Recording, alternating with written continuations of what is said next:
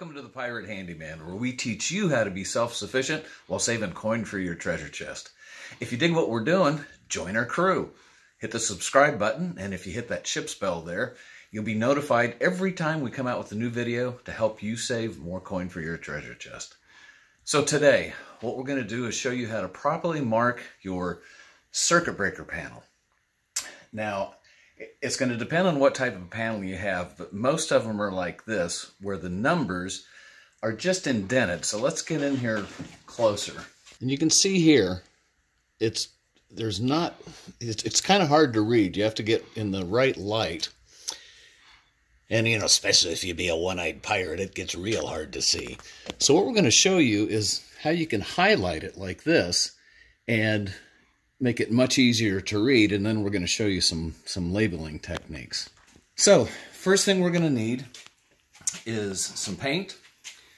I like to use a sponge uh, type brush for the brush, and a uh, little cup of water with some with a, uh, a Q-tip and a rag. So, you don't need any type of special paint. I'm sure everybody has some paint laying around the garage. You want to get white uh, you know, depending on what color this is, if it's dark, use white. If this is like silver or something like that, then you might want to use black. Uh, for the white, you could also use white out to do what we're going to show you here. Pop the top off of it. Now, because I shook it up, I'm just going to pop the top here because we're not going to be using a whole lot of paint. there is one other thing you're going to need. And you could use a credit card. You could use a couple of business cards taped together. But something like this to uh, scrape away the excess paint. Because what, what we're going to do, you'll see that you know these are indented.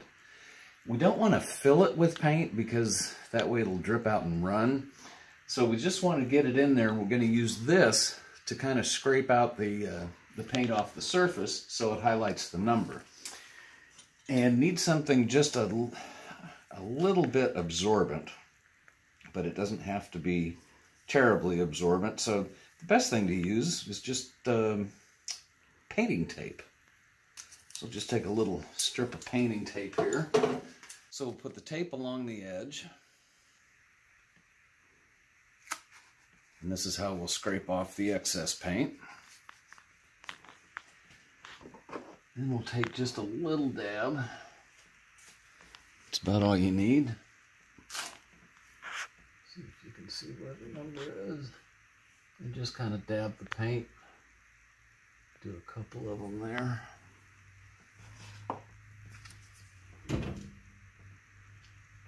And you get it as flat as you can. Pull it out. And you can see we've got the numbers there. And I'm going to take my rag,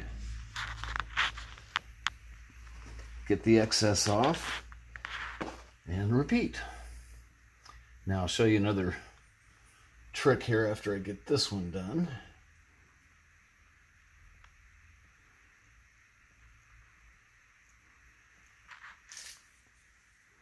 Now you can be as neat as you want to here. Frankly, we ain't painting the Mona Lisa, so I'm not worried. I'm more worried about making sure I can read it.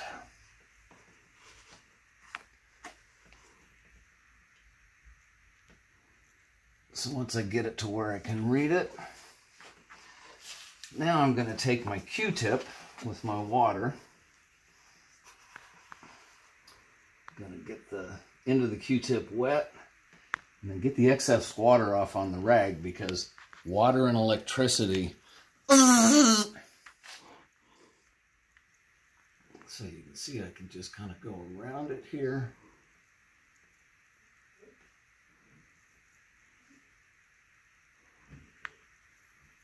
And there we go. So we'll finish it all up here.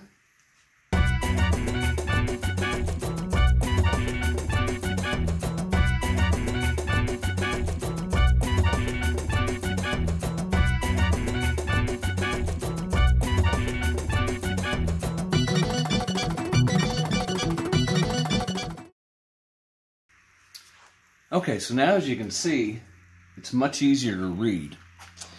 Now the next thing that you want to do is there's usually a little sticker inside and you can see it's incredibly hard to read.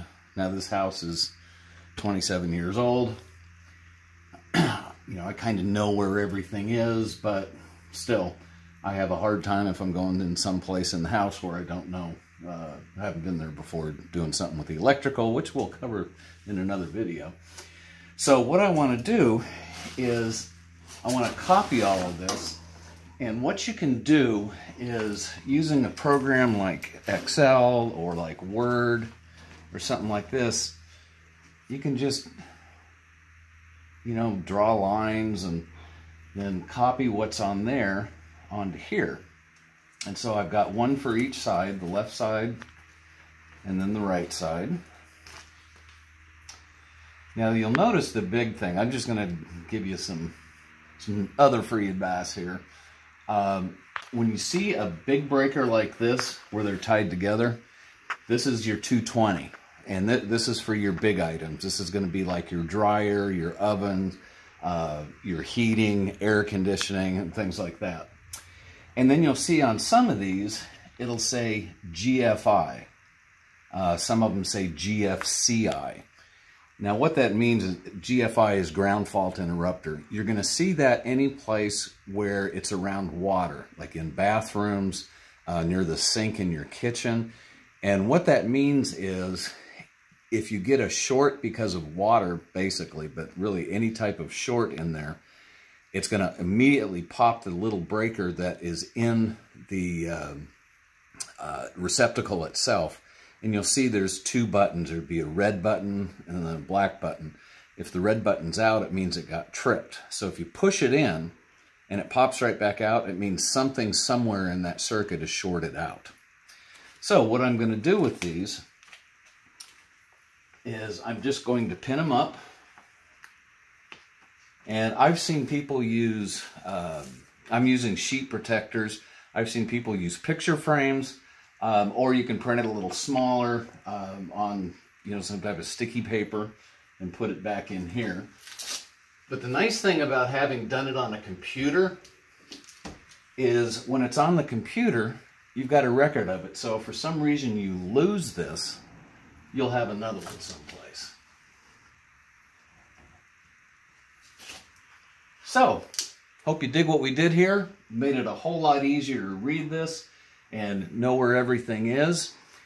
Again, if you want to join our crew, hit that subscription button down below and hit that uh, ship's bell notification. That way you'll be notified anytime we put something new out. And leave us comments. If there's things that you want to see, say, hey, I'd like to see you do this or I'd like to see you do that. We'd love to hear from you. But until then, here's to smooth sailing. We'll be right back.